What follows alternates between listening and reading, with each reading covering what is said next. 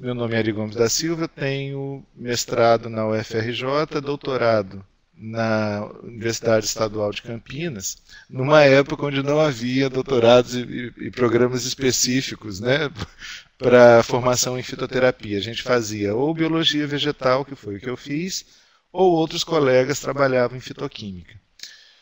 É, a ideia de desenvolver um medicamento à base de plantas né, e de registrar isso como medicamento no mesmo status dos outros medicamentos da, do repertório farmacêutico é, por incrível que pareça, relativamente recente no Brasil. A primeira resolução específica foi em 1996 da então Secretaria de Vigilância Sanitária do Ministério da Saúde, que depois, oito anos depois, com Fernando Henrique, passou a, a se caracterizar como Agência Nacional de Vigilância Sanitária.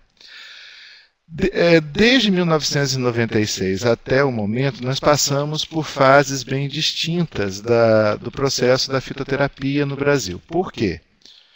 É, no momento inicial, a primeira farmacopeia brasileira, que data de 1926, ela continha um repertório de aproximadamente 118 plantas que foram praticamente todas mantidas na segunda edição da Farmacopeia, que data ali do período de 1950 a 1954.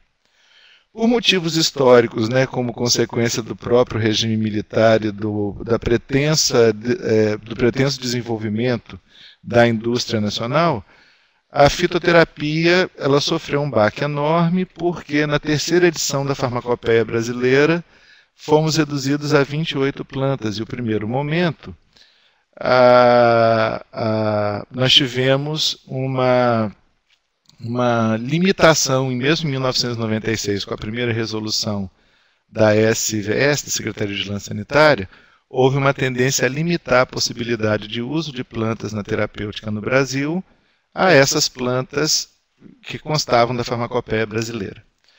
Bom, desse meio tempo eu acho que houve uma contribuição importante da, da sociedade na, na constituição da, das diretorias colegiadas da Anvisa, porque aí os setores da sociedade passaram então a opinar. E nós fomos migrando progressivamente de um sistema muito restrito, que foi a, a resolução de a portaria de 1996, até chegar a uma condição mais ampla que é a que nós temos hoje. Né?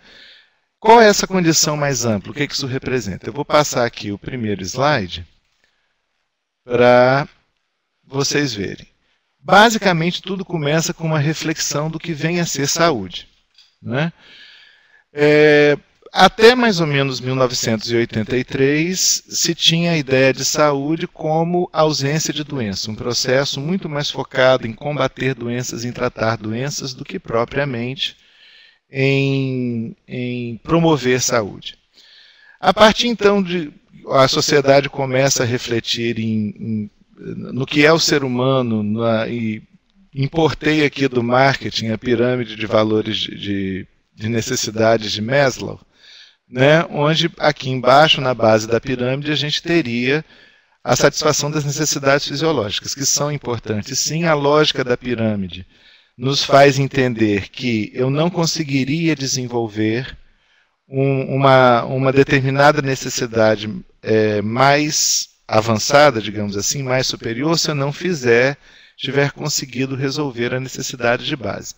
Então, se nós formos olhar, o ser humano vai passando das necessidades fisiológicas aos processos sociais, à saúde social, até que ele começa a se dar conta de si mesmo de duas formas. No primeiro momento, ele tem o desenvolvimento da estima, e a partir do momento da estima, onde ele se reconhece como um ser individualizado, com suas características próprias, capaz de se propor objetivos de vida e a partir daí realizá-los. Nesse ponto, ele alcança a autorrealização. Isso afetou a Organização Mundial de Saúde de tal maneira que em 1988 ela foi compondo esse, esse perfil de saúde progressivamente até entender e publicar em 1988 que saúde humana ela consistiria no bem-estar físico, sem dúvida nenhuma, mas também mental, perfeitamente compreensível. e começa a partir daí ampliar essa possibilidade de compreensão de saúde, adicionando os componentes sociais, o social, né? E o que para mim foi mais evolucionário, apesar de ser em 1988 espiritual. Por que, que eu considerei é, revolucionário? Se nós olharmos, é, a derivação mais imediata desse componente espiritual passou a ser a, a, recentemente a Política Nacional de Saúde, que introduziu as, a, as práticas integrativas e complementares. Por que, que isso é revolucionário apesar da defasagem? Como que a, que a OMS percebe isso em 88 e praticamente em 2006, só que isso começa a fazer parte do repertório de saúde nosso no Brasil. Eu penso que seja compreensível por conta da própria natureza humana, do processo natural de, de amadurecimento das ideias, né? E ao mesmo tempo, a gente passa por toda uma revisão ética de como se conduz com os pacientes. Por exemplo, né, eu sou de uma, como eu sou farmacêutico de formação, a minha, na minha formação eu tinha que fazer o que fosse necessário para o paciente continuar vivo, quisesse ele ou não. Né?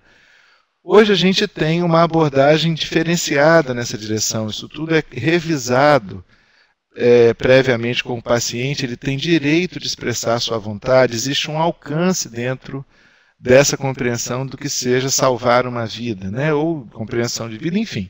Existem várias nuances aí que hoje importam e na minha época não importava. Né? Isso no que pese que levasse pessoas a condições vegetativas de uma nem de sobrevivência, mais uma subsistência, enfim. Ou seja, quando a gente chega na, na, na, possibilidade de considerar o ser humano de uma forma mais integral, a, a, a, noção de ética, a noção de saúde, elas se ampliam muito. Nesse componente espiritual, quando ele passa a fazer parte do, do conceito de saúde, embora ele possa sim significar um conjunto de crenças próprias das pessoas e que isso deva ser levado em conta durante o processo da promoção da saúde, mas o alcance da espiritualidade aqui, ela está muito mais relacionada a valores que não sejam tangenciais, né? Perdão, que não sejam tangíveis, né? Então, por exemplo, eu estou levando em conta aqui o próprio processo de autorrealização, né? Ou seja, a gente hoje não está limitado à saúde como um processo de diagnosticar doenças. Ele existe sim, faz parte sim, e aqui a gente vai precisar ter clareza de quem é que tem competência para diagnosticar ou não. No entanto, se a gente amplia essa reflexão para o próximo slide, por exemplo, é, não estou falando de diagnosticar doença, mas promover saúde, o leque de profissionais que são convidados a atuar e, do meu ponto de vista, têm responsabilidade social para isso, ele se amplia muito. O que, que eu quero dizer com isso? A gente não vai aqui estabelecer uma briga de conselhos ou uma briga de, de entidades sociais. A ideia que a gente vai tratar é, primeiramente, o foco principal do processo é a promoção da saúde. A a medicamentos fitoterápicos que são destinados a tratar de doenças, mas há outros que podem ser utilizados para a promoção de saúde. Né? E, ao mesmo tempo, quem é que vai ter responsabilidade e competência por isso? Bem, como eu disse para vocês, nós temos um repertório de 41 medicamentos que não foram revisados, nove com prescrição restrita médico. Entre os que não têm prescrição restrita médico, é, existem uns dois que eu acho que deveriam ter por conta da, de serem medicamentos que atuam, fitomedicamentos que atuam no sistema nervoso central. Acho que a gente precisa ter um pouco mais de cuidado em relação a isso. Mas a ideia que a gente vai, que eu vou abordar a fitoterapia, pelo menos nesse momento, ela vai ser convergente com a política nacional de plantas medicinais que ampliou tanto o conceito de fitoterapia, que a gente, quando vai ficando velho, você vai vivendo momentos diferentes da história da, dos processos. Né? Então, por exemplo, eu já passei na minha vida profissional desde momentos onde a lista de medicamentos era muito restrita até outra que virou uma bandalheira e depois as resoluções mais recentes elas passaram a tratar o fitomedicamento com o mesmo status de um medicamento comum. Qual foi o grande, a grande modificação que a gente sofreu em 2014. Bem, do meu ponto de vista, a ideia não é tratar do SUS, mas apenas lembrar que o que a gente está chamando de atenção primária está incluindo nessa base aqui do sistema hierárquico do SUS, que vai falar, é, vai incluir as práticas de atenção primária à saúde, como no âmbito aqui da atenção básica. Então, se nós pensamos no SUS como um sistema, a atenção básica passa a ser a porta de entrada.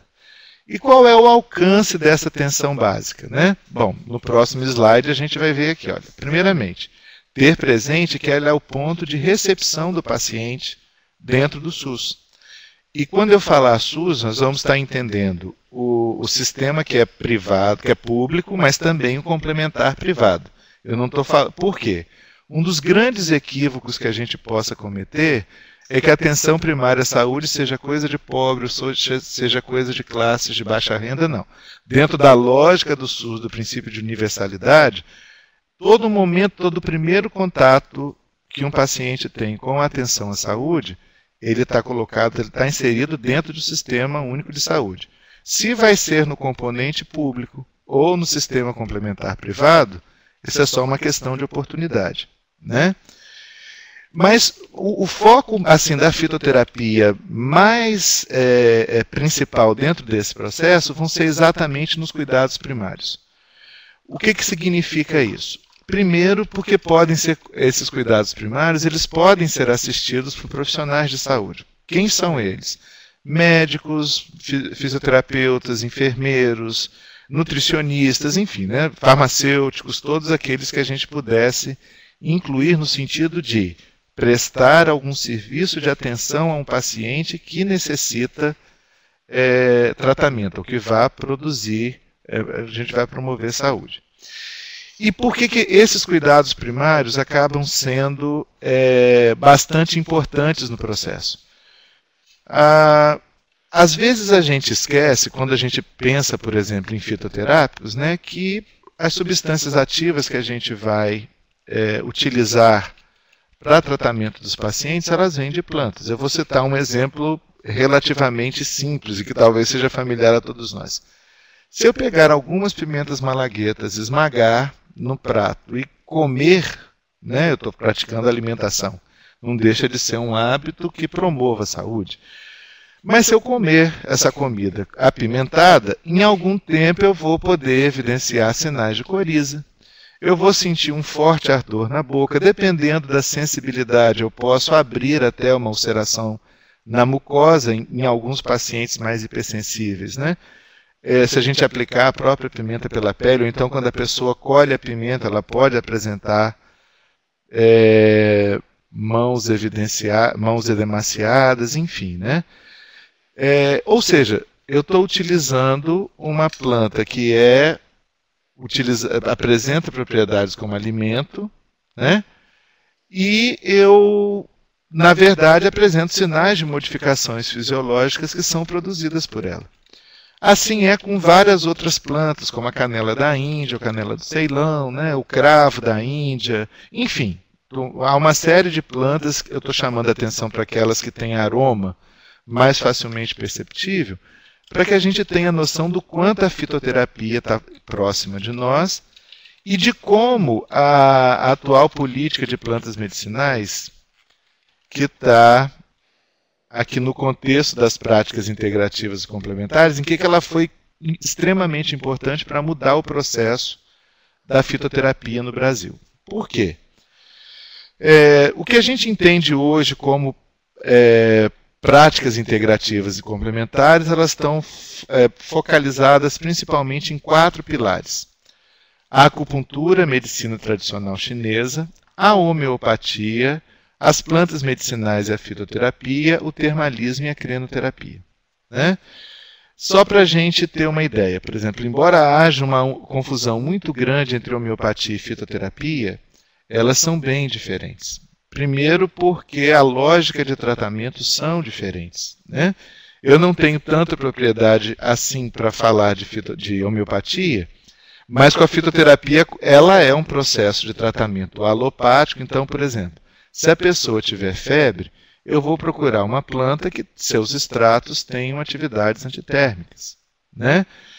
Na homeopatia, não. A lógica de tratamento é o semelhante tratando o semelhante. Então, embora existam plantas que façam parte do repertório de medicamentos da homeopatia, mas nem tudo é planta. Na verdade, existem medicamentos que são de origem mineral, existem medicamentos que são de origem animal na homeopatia, e também existem aqueles que são derivados de planta, mas lógica de tratamento é outra e a, o processo de produção do medicamento é outro também.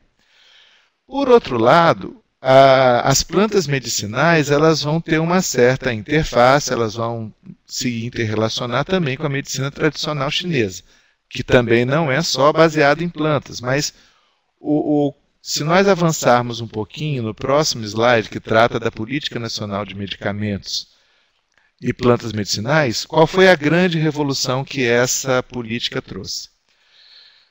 Se eu tivesse dando essa mesma palestra antes de 2006, eu, estaria dizendo para vocês, por exemplo, que se eu for a uma horta pegar umas folhas de melissa, que é a erva cidreira, e fizer um chá, que aquilo não era medicamento. Para ser medicamento, eu precisaria processar, extrair, padronizar as doses, administrar de maneira, dispensar de maneira doseada, né?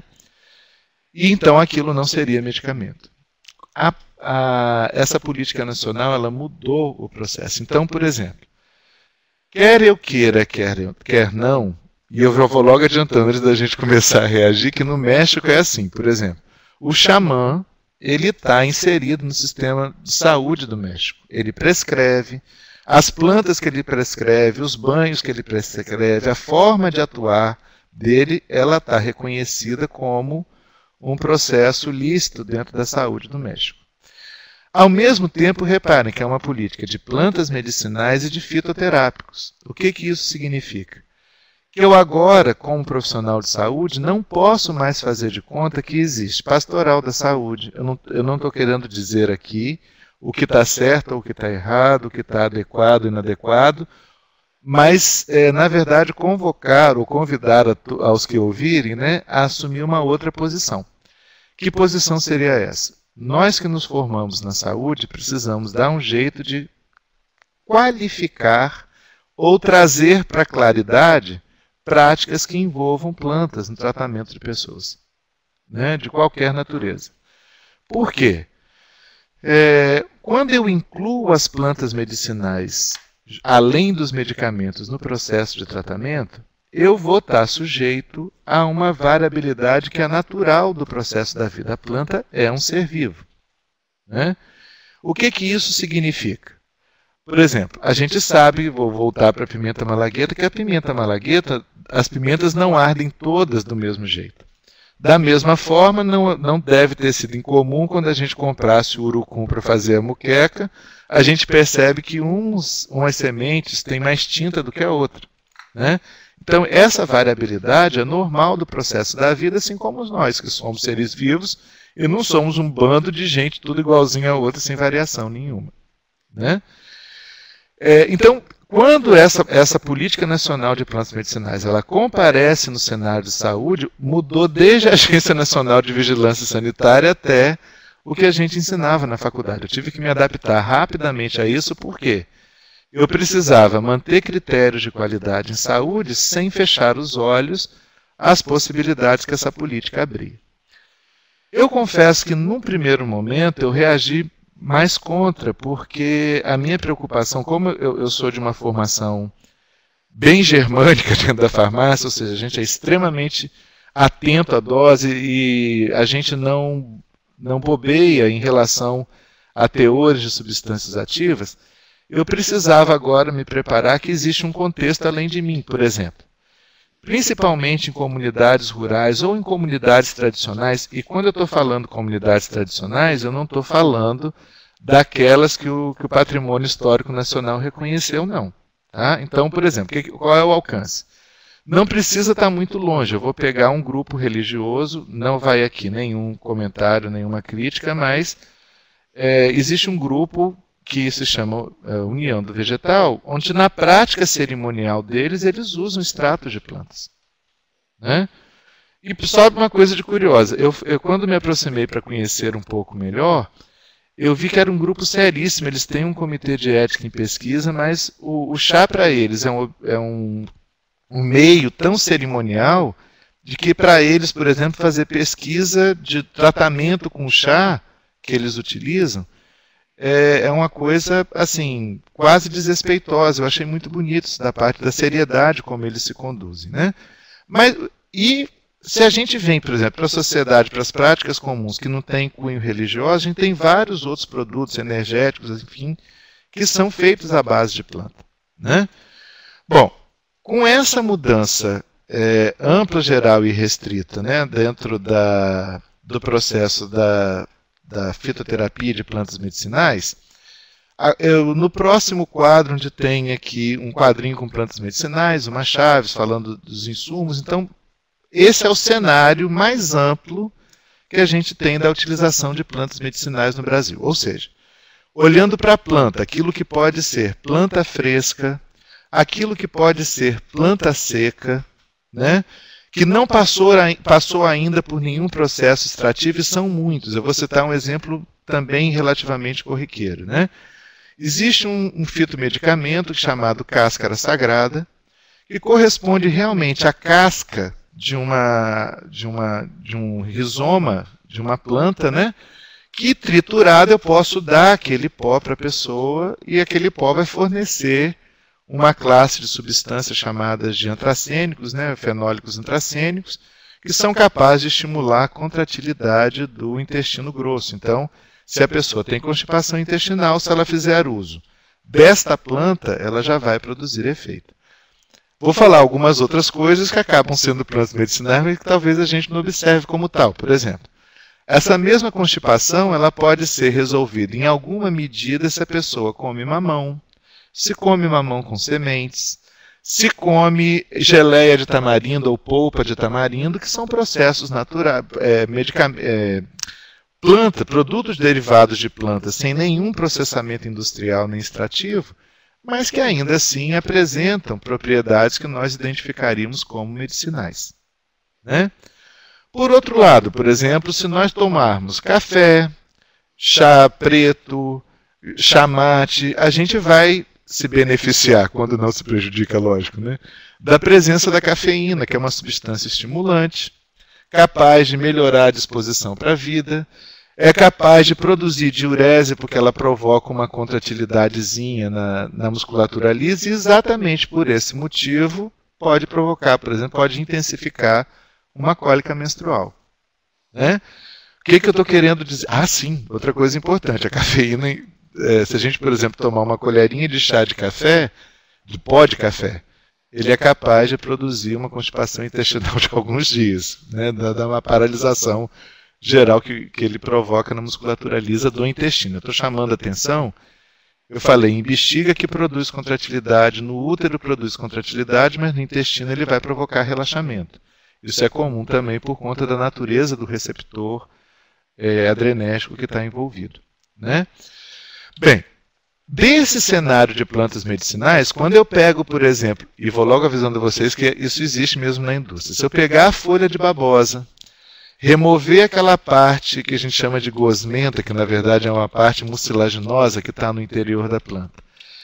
E eu posso usar aquilo diretamente no couro cabeludo, eu posso dissolver aquilo num creme, eu posso dissolver aquilo aproveitando as propriedades anti-inflamatórias, eu posso liofilizar, tirar a água assim em temperaturas é, muito, muito baixas, né? E eu tenho um insumo que eu posso botar em cosméticos, eu posso botar em medicamentos, então eu posso usar a parte da planta bruta, propriamente dito, sem nenhum processo de, de tratamento. O que é que eu vou chamar de fitoterápico? Diferentemente de plantas medicinais, não invalida a utilização de plantas na promoção da saúde. Ou, em alguns casos, por exemplo, é, eu tenho a impressão que constipação intestinal não é considerada exatamente uma doença. Né? Mas se eu tenho um intestino que funciona irregularmente e através da alimentação, ou do processo nutricional, ou da, da utilização de plantas frescas, eu consigo melhorar a funcionalidade intestinal, a gente acaba dando outros nomes para isso. Por exemplo, dentro do ramo da nutrição, a gente vai falar de alimentos funcionais, que se são vegetais, na verdade, são derivações das plantas medicinais. Né? Então, a minha ideia é trabalhar o conceito de planta medicinal da forma mais ampla possível, ou seja, aquilo que eu posso usar in natura para promover a saúde ou, de alguma forma, é, regularizar é, processos que não funcionem tão bem no corpo humano. Agora, quando eu começar a chamar de fitoterápico, e na verdade a portaria, a, a política nacional manteve esse nome, mas assim, digamos assim, no, no ambiente farmacêutico, e eu sugeriria que toda a área de saúde fosse assim, o termo mais adequado seria fitomedicamento. Por que, que eu estou chamando a atenção disso? É, eu falei para vocês agora de algumas substâncias que são obtidas de planta até hoje. A cafeína, por exemplo, é uma delas. Né? Não é a única, não. Quando a gente fala, por exemplo, da quimioterapia, né, a gente não tem tanto recurso, é, tanto repertório de, é, de quimioterápicos assim, mas ainda assim são obtidos de plantas. A digoxina até hoje não foi sintetizada porque a síntese é bastante custosa, né? Bem, mas isso é só na verdade para a gente ter, saber o seguinte: existem substâncias que são derivadas de planta que podem é, ser obtidas de, industrialmente de maneira pura. A cafeína é uma delas. Porém, o que a gente, o que a nossa legislação entende como medicamento fitoterápico, vamos supor, eu peguei sementes de guaraná. Triturei as sementes, que é assim que a gente faz o bastão de guaraná. E se a gente for numa comunidade tradicional extrativista amazônica, ou mesmo de, de pescadores, eles usam a língua do pirarucu seca, que é dura e áspera pra caramba, que é a única coisa que consegue ralar né, o bastão de guaraná, que eles chamam, que é são as sementes trituradas e comprimidas. Isso por si só hoje, se eu pegar, colocar numa cápsula ou num sachê, de alguma forma eu quantificar uma dose, isso vai ser conhecido então como droga vegetal, a planta seca. Por que a planta seca? Eu costumo fazer uma brincadeira com meus alunos, né? A disciplina que eu dou na farmácia que trata desse assunto se chama farmacognosia. Né? Um nome grego bonito, né? mais elegante do que a farmacologia. Por quê? Por que, que eles não adotaram farmacologia? Porque a, a, a gnose ela implica nesse conhecimento mais amplo que eu estou falando com vocês. Né? Além da pretensão, por exemplo, que a gente já sabe que a farmacologia também não tem, da capacidade de reproduzir resultados. A gente se aproxima e depois, não, cada organismo funciona de um jeito, o medicamento funciona com um assim e com outro assado, né? Que na verdade isso tudo é, é real e é consequência da nossa própria variabilidade genética, nós como seres vivos, né? Mas quando eu, eu, penso em droga vegetal, se eu pegar, por exemplo, esse pó de guaraná, que ele estaria, olha, planta seca, que é apresentada ao paciente de maneira doseada. Se eu pegar cafeína pura e adicionar ao pó de guaraná, para nossa legislação eu o descaracterizo como um fitoterápico. Então, primeiramente, o que nós vamos entender como fitoterápico é tudo aquilo destinado à utilização da promoção da saúde. Reparem que eu não estou falando só de tratamento de doença. E que possa e que seja constituído única e exclusivamente pelas plantas secas trituradas, que é o que nós vamos chamar de droga vegetal, ou com os seus extratos e derivados, que é o que nós vamos chamar de fitomedicamento. Esse fitomedicamento, ele vai poder chegar até as mãos do paciente, então nós estamos pensando aqui em atenção primária, tá? A pessoa deu a primeira entrada no sistema de saúde. Ele vai poder chegar de forma industrializada. O que, que significa isso? O que vai caracterizar a produção industrial é a produção em larga escala. O que, que significa uma produção em larga escala? É uma lógica que talvez para gente que, que nunca viu uma indústria, o Espírito Santo não tem essa tradição, mas ela, ela vai representar para nós o seguinte: eu comprei lá 500 quilos de um extrato de planta. Quando aquilo chegar na indústria, eu vou utilizar todos aqueles 500 quilos para produzir um lote de medicamentos. A partir daí, eu vou estabelecer dois critérios de produção. Um que é chamado de é, estabilidade e o outro que é chamado de, de validade. Qual a diferença entre eles? Eu fiz o um medicamento, botei no frasco, fechei e lacrei na indústria.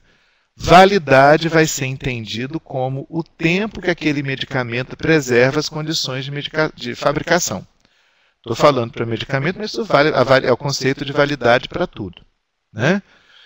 Alguns de nós já devem ter observado, e às vezes menos se for mãe, porque a mãe costuma guardar medicamento que acabou dentro do, do armário do banheiro, né? Do, enfim. É, quando a gente abre um medicamento, é, principalmente se ele for um medicamento líquido, ou se for um xarope, ou um edulito, enfim, né? Ele vai ter assim, olha, após aberto, consumir em uma semana, em 20 dias, em um mês. Esse prazo, depois que se rompe o lacre da indústria, é chamado de prazo de estabilidade. Então, por exemplo, é muito comum a gente ver nos leites de caixinha é, uma, uma validade enorme, às vezes de um ano. Mas aí ele avisa, ó, após abrir, consumir em uma semana. Esse após abrir é o prazo de estabilidade. Então, o medicamento industrializado, ele vem normalmente, para ele ser caracterizado como indústria, ele vai vir com número de lote, porque ele representa essa produção em grande escala. É, ele vai vir também caracterizado como uma expressão de validade uma expressão de tempo de validade uma expressão de tempo de estabilidade. Ah, mas eu não vejo tempo de estabilidade. É, eu, eu, eu tenho trabalhado com meus alunos desde que a gente estava saindo da ditadura, ainda sou dessa época, né, que a gente viveu a ditadura militar, mas quando criaram os canais de, de atendimento ao cliente, os saques, né? É, a gente passa, a Anvisa ela recebe informação permanentemente, é, digamos assim, reclamações dos usuários. E a gente, como profissional de saúde, contribui muito e fala, olha, esse medicamento ele está saindo sem prazo de estabilidade. Os, eu volto a chamar a atenção, os medicamentos líquidos. Por quê? É, a, o, o, meio líquido ele é um meio bastante aberto a, a trocas né, com, com o meio externo. Tanto assim que, por exemplo, todos nós sabemos que os medicamentos em gotas administrados por via oral, eles tendem a fazer efeito mais rápido do que os medicamentos da, que nós vamos chamar de formas sólidas, não que sejam exatamente sólidos, mas os medicamentos endurecidos. Qual é a lógica de funcionamento aí? Enquanto houver água no sistema, eu corro o risco de desenvolvimento de micro-organismos. Né? Eu gosto muito de citar Pseudomonas aeruginosa como exemplo, porque basta um, um, uma aguinha escorrendo na parede com umas algas localizadas ali é suficiente para elas se desenvolverem. Né? E então, quando existe água no sistema, o medicamento tende a se adulterar, a se alterar com mais facilidade e rapidez. Então, o que, a indústria tende a fazer? Por exemplo, se ela puder colocar no meio sólido, botar com pó, aí o que, ela faz? Bota um pó que é chamado de óxido supermicronizado, que é extremamente refletor, o que ela vai fazendo? Retira a água, reflete a luz e aí ela condiciona como? Em vez de botar todos os comprimidos soltos dentro de um frasco, ela coloca dentro de um blister selado comprimido a comprimido. Então você só abre efetivamente, você só rompe o lacre da fabricação no momento onde você expõe o comprimido ao ambiente. No medicamento manipulado, essa condição não existe. Né? Então a gente vai trabalhar com um conceito é, o nome parece grosseiro, mas ele é real. Batelada. Qual a diferença da batelada por lote? Eu fui lá na indústria e comprei 500 quilos. Lembra do meu extrato inicial? Se eu resolver fazer 100, gram, 100 quilos e deixar 400 reservados, vou fazer uma batelada de 100 quilos no mesmo lote de 500. No medicamento manipulado, isso é o tempo inteiro. Então, por exemplo, não tem validade de medicamento manipulado que seja muito superior a seis meses. Se for, ele vai ter que atender aos mesmos critérios de controle de qualidade da indústria que são inviáveis na farmácia magistral. Ah, mas então você está me dizendo que a farmácia magistral não produz medicamentos úteis? Não, de maneira nenhuma. A nossa formação forte no Estado é magistral, no Estado do Espírito Santo é magistral, mas eu preciso saber que eu vou utilizar dentro de um contexto de um tempo. Não adianta, por exemplo, eu mandar manipular 500 cápsulas se o paciente vai usar essas 500 cápsulas em período superior aos seis meses. Né? A lógica da farmácia homeopática, da farmácia de manipulação, perdão, é produzir medicamento para consumo que a gente chama de extemporâneo. Então eu vou fazer para no máximo um mês. Claro que a condição de trabalho deles, ela garante a validade ou a estabilidade do medicamento por mais tempo. Mas a ideia é que seja assim. Tá? Então, o medicamento manipulado ele é eficiente sim, o medicamento industrializado sim. Agora, qual a diferença fundamental? No manipulado, o papel do prescritor ele é mais é, dividido, por exemplo, com o do farmacêutico que manipula. Por quê? Porque o farmacêutico vai prestar o serviço de combinar aquilo que o prescritor colocou na formulação. Esse, então, é o cenário nosso de fitoterapia. O que isso significa? Que a gente pode ter profissionais se capacitando, por exemplo, nos insumos. Quer ver? Olha, um dentista, por exemplo, quando ele está fazendo uma moldagem da boca, da, da arcada, né? Para fazer uma prótese, enfim, fazer qualquer trabalho, ele está usando um produto fitoterápico, embora ele não se dê conta disso. Ele está usando um alginato que é obtido a partir de algas, né? obtido a partir de plantas. Isso é o padrão que nós chamamos de insumo. O que, que eu quero dizer com isso? O alginato em si ele não tem nenhuma substância ativa. Né? Mas ele é capaz, por exemplo, de endurecer o, o sistema desde que ele seja hidratado.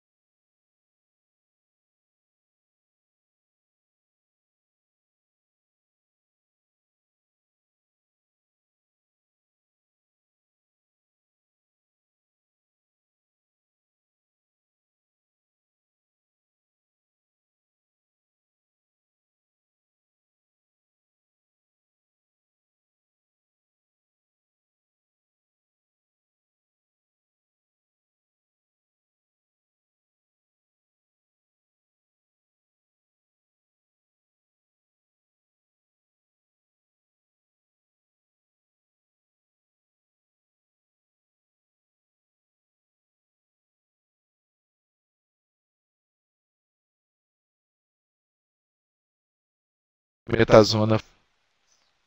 Me ouvem de novo? Bem, então, como eu estava falando com vocês, a, a, utilização desse cenário, dentro dos insumos, a gente vai usar tudo que não tenha substância ativa, mas que de alguma forma contribui para o que nós chamamos de veiculação de substâncias ativas. E hoje a gente tem muito recursos em termos de fitoterápicos, muitas gorduras vegetais que são autoemocionáveis, né, como a gordura de palma. Palma, só para a gente ter uma ideia, é o coquinho do dendê. O óleo de dendê que a gente usa é o óleo que tem na polpa do fruto, mas tem uma amêndoa também, um coquinho, que tem uma gordura é, facílima, chamada gordura de palma, gordura vegetal, facílima de produzir cremes, é extrema, muito facilmente dispersível, enfim. Mas como eu estava falando dos cosméticos, tem essa, essa limitação legal, né? Então, por exemplo, para nós não pode haver é, não pode haver corticoides né, na, na formulação de cosméticos. Isso por si só já dá uma definição. Porém, fora dessa condição de limitação legal, o que se entende como cosmético é aquilo que for administrado pela pele e que, após ser absorvido, não se iludam que a pele é resistente à absorção, porque não é, absorve sim, couro cabeludo absorve muitíssimas regiões aqui nas laterais das costelas. Também o verso do antebraço, por incrível que pareça, o arco da planta do pé absorve substâncias com muita facilidade, mas o que vai ser cosmético é aquilo que for absorvido pela pele, quando for distribuído pelo organismo, não alcança concentrações capazes de produzir efeito sistêmico. Então, o que eu quero dizer com isso? Cosmético faz efeito, sim, no local de aplicação. Se, e ele pode produzir efeito sistêmico? Pode, dependendo da dose, por isso existe um rigor aí, tá certo? Em relação aos alimentos, a gente teria os alimentos funcionais, que nós chamamos de funcionais, o que, que impera nisso, né? A, a, substâncias, principalmente antioxidantes, são muitos compostos fenólicos, eles têm cores, eles ajudam a gente a escolher o processo. Então, por exemplo, quando eu olho para uma uva de cascas assim bem roxas, né, ou para alimentos que têm uma coloração vermelha que se dissolve na água, como o rabanete, a berinjela também é riquíssima. Então, é, são substâncias que são capazes de produzir, proteger, né, em alguma medida, a gente contra danos oxidativos. Isso é importante? Bom, o Linus Pauling, quando lançou a teoria redox, isso aí lá para os anos 90, né, ele dizia que o homem não envelhece, ele oxida. Né? Então, a oxida, a, a, os, as espécies reativas de oxigênio são inclusive as ferramentas que o nosso sistema imunológico tem com a defesa celular mais inespecífica, né? Por exemplo, da atividade dos neutrófilos. Né? Basicamente são peróxidos, radicais anidroxila, superóxido, que acabam é, participando desse processo de é, defesa mais inespecífica né, do organismo. Mas, sem dúvida nenhuma, na medida que a gente consegue é, receber esses antioxidantes através de alimentos, né, e aí, claro, os nutricionistas falariam disso com mais propriedade, mas tem a, uma lenda que tem um fundo de verdade, que um prato, por exemplo, que a gente vai comer, quanto mais colorido ele tiver, mais chances a gente tem de receber essas substâncias ativas que estão presentes em alimentos. Né? O que, que a gente colocaria aí? Os, é, muitos compostos fenólicos, existem substâncias que são chamadas de quelantes, presentes em, em vegetais verdes escuros, como couve, brócolis, e inclusive essas substâncias como o ácido é, como inositol, elas são capazes de quelar é, complexo antígeno-anticorpo. Então, por exemplo, a alimentação com vegetais verdes escuros durante a recuperação de uma ferida ou de um processo cirúrgico são capazes de produzir uma reparação tecidual mais adequada. Elas contribuem com esse processo. Né? E, assim, é, até aqui a gente, com insumos cosméticos e alimentos, a gente desenvolveu uma visão que eu acho assim, mais ampla e geral de plantas medicinais podendo atuar de forma direta com seus componentes ou indireta a partir dos derivados. O que, que nós vamos entender dos derivados? A planta seca, partes da planta que possam ser exudadas, por exemplo, é, Própolis, apesar da gente tirar da abelha, ela é um produto vegetal que a abelha só acumula para a gente na colmeia. Então, o própolis ele é tratado dentro do escopo da fitoterapia também. Né? É, as ceras todas, por exemplo, cera de carnaúba, essa gordura vegetal que a gente chama de gordura de palma, enfim, todo o óleo, a óleo resina de copaíba que é exudada das plantas, tudo isso são derivados vegetais, mas que não foram extraídos. Agora, eu vou adiantar aqui um pouquinho porque eu acabo me empolgando e acabei falando bastante sobre isso. Eu deixei para vocês aqui organizado essa forma de uso tradicional que eu mencionei, a legislação que, dá, que de, derivou da Política Nacional de Plantas Medicinais. E eu vou deixei também alguns comentários até que eu já fiz agora sobre plantas que podem ser utilizadas, por exemplo, na fitoterapia doméstica. Mas eu vou mostrar para vocês aquele perfil de, de plantas que estão produzindo fitomedicamentos. Né? Então agora eu vou dar um pulinho além do que, eu, do que a gente pudesse citar de plantas medicinais, trabalhando com extratos vegetais.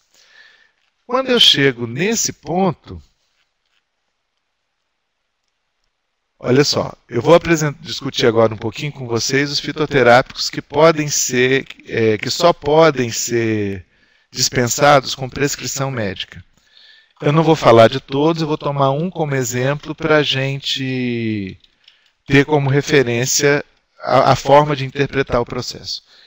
Da forma como está aqui, é, eu estou apresentando para vocês uma ficha técnica no slide 29. Tá? Uma ficha técnica de uma planta que não é brasileira, que é chamada de uva ursi.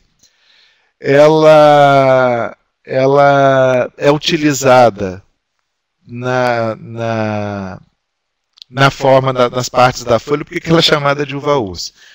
Há um tempo atrás, essa planta apareceu no Brasil com o nome de uva japonesa. Ela era uns ramos carnosos, meio adocicados, né? com bastante tanino, e as folhas dela elas são ricas numa substância chamada arbutina. O que, que vem a ser a arbutina? Ela é um, um, composto quinônico que acaba tendo atividade como antibiótico. Ela, ela, tem uma excreção bastante solúvel em água e tem uma excreção no trato urinário muito facilitada. É, seria mais ou menos como a gente pensar em usar um norfloxacino ou a, a, no tratamento exatamente de uma cistite. Como é que a gente é, planeja esse tratamento? Eu posso usar extratos e posso usar tinturas. Qual a diferença entre eles? Nós vamos chamar de extratos aquilo que for utilizado no meio sólido. É a gente evapora o líquido extrator de um extrato vegetal e o resíduo dessa evaporação eu misturo com agente secante. Nada muito complicado. A forma mais simples de fazer é com amido de milho. O amido de milho é um pó secante extremamente útil dentro da tecnologia farmacêutica. É claro que existem alternativas mais tecnológicas, né? A gente pode é, diminuir, inclusive, o custo ambiental disso, né? Mas o fato é, aquele extrato, aquele resíduo de evaporação vai ser diluído num pó secante. A essa mistura, resíduo de evaporação da planta mais o diluente secante, eu vou chamar de extrato seco. Os extratos secos vão poder fazer talcos, comprimidos, cápsulas. As tinturas vão poder fazer xaropes, edulitos, loções, enfim, formas líquidas. Né? É, só que nesse caso especificamente, o meu objetivo é tratar uma infecção urinária. Como que eu vou fazer? Eu preciso ter esse extrato padronizado em quê? Em 400 a 840 miligramas em quinonas. Então eu não vou pesar, eu não vou na hora de prescrever dizer ao farmacêutico assim, ó, bota 20 miligramas de extrato seco. Não vai funcionar assim. Eu vou ter que fazer o que? Olha, eu preciso de dar para o meu paciente, vamos supor aqui, 500 miligramas de quinonas. O farmacêutico vai lá ver o extrato que ele tem, qual é o teor de quinonas de declarado, e reparem que 840 miligramas de substâncias ativas é uma quantidade alta muito provavelmente o farmacêutico vai ligar para o prescritor e falar assim, no caso um médico, né? Assim, olha, doutor, eu estou aqui fazendo o seu medicamento, acontece que é, eu vou ter que colocar em duas cápsulas. O paciente vai ter que tomar o dobro do número de cápsulas por dia para poder comportar a receita que o senhor prescreveu. Tá? E aí, olha que coisa interessante. Um mito, um dos mitos que a gente tem que trabalhar contra é a venda, por exemplo, sobre prescrição. É, perdão, a, a, de que plantinha não faz mal. Né? Se vocês repararem, olha, a consideração, não utilizar continuamente por mais de uma semana. E se eu utilizar, não repetir mais do que cinco semanas por ano em menores de 12 anos. É, isso é para esse caso, da uva ursa. Eu vou pegar aqui agora a Simicifuga racemosa, que é uma planta que tem. Essa daqui é uma das que tem melhor desempenho no tratamento do distúrbio do climatério. É, as isoflavonas de soja, elas até fazem algum efeito, menos do que a simicifuga, mas é uma coisa para ser usada cronicamente. A gente ganha com ela pelo uso prolongado. Né? Mas se vocês olharem a simicifuga, ó, se eu estivesse tratando com extrato de soja rico em isoflavona, eu estaria trabalhando com 80, 60 miligramas de isoflavona por dia. Reparem que se micifuga eu estou trabalhando de 1 a 8. Então é muito menos, é sinal que ela é muito mais efetiva. Né? Então eu preciso também informar isso para o meu colaborador que vai fazer comigo. Porém, tem uma planta aqui, cava-cava, no Brasil ela ainda está permitida. Ela já foi proibida em vários locais. Ela é uma planta eficaz no tratamento da ansiedade. Qual é o problema dela? Hepatotóxica até onde não pode mais. Então, por exemplo, se eu for tratar um paciente com cava-cava, penso que eu estou tratando, olha só aqui, hein? ansiedade, insônia, tensão nervosa, agitação. Como esses, pelo menos dois desses fatores, a ansiedade e a tensão nervosa, podem estar associadas também com o processo depressivo, a minha perspectiva é trabalhar num cenário de utilização prolongada desse medicamento. Né? Então reparem aqui, olha, eu não vou poder utilizar por mais de dois meses. Por quê? Porque ela vai produzir danos acumulados no fígado. E o prescritor, e do meu ponto de vista, o farmacêutico também, precisa saber que esse paciente tem que monitorar as enzimas hepáticas, gama-GT, transaminases né, e fosfatase alcalina, porque ela pode desenvolver uma hepatite medicamentosa pelo uso prolongado. Vou passar agora rapidamente pelas plantas que não têm é, prescrição medicamentosa feita pelo médico, né, o restrito ao médico, e eu parei aqui na passiflora porque eu acho que ela deveria ter, e vou explicar por quê. Essa planta ela é eficaz no tratamento de distúrbios do sono. Ela tem um efeito de benzodiazepínico discreto, mas a principal atuação dela é na diminuição do que nós chamamos de latência do sono. O que é a latência do sono? Aquele período entre que, o tempo que você deita e que você começa a dormir. Que é principalmente o período onde começam a se manifestar os sintomas de ansiedade. A pessoa que já está sofrendo com transtorno, ela fica ansiosa e aí que não consegue dormir mesmo. Por que, que eu acho importante que seja uma prescrição controlada pelo médico? É porque embora a gente tenha os flavonoides totais, que são as substâncias ativas responsáveis por essa, essa atuação da planta, junto com a planta, dependendo da, da origem do extrato, e eu não vou, o que eu estou fazendo agora não é propaganda para a Axé, não, mas a Axé desenvolveu uma tecnologia onde ela aquece o extrato bruto vegetal antes de fazer o, o, a produção do extrato seco, ela aquece com soda potássica. O que, que ela faz com isso? Ela precipita um conjunto de alcaloides, que são chamados de alcaloides harmônicos, eles são os mesmos alcaloides da mescalina, é, eles são capazes de, em determinada quantidade, se chegar para isso no sistema nervoso central, produzir alucinação, mas em doses que ainda não alucina, né, eles induzem distúrbios no coração, como taquicardia, né, então, a, a, eu acho que é uma planta que precisa ter cuidado sim na prescrição. E uma coisa, como apesar de ter um efeito sedativo benzodiazepínico discreto, o inconveniente dos benzodiazepínicos a gente chama corriqueiramente de ressaca, mas é aquela sonolência rebote que permanece após o tempo de atuação do medicamento.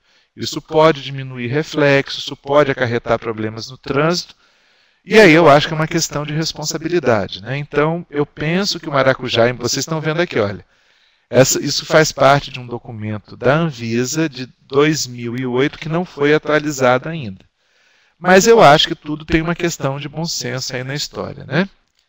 Deixa eu só verificar quanto tempo tem ainda. É, então, um outro exemplo que também está vendido sem prescrição médica, né, sem necessidade de prescrição médica, mas que eu também acho que deveria ter, corresponde ao Guaraná.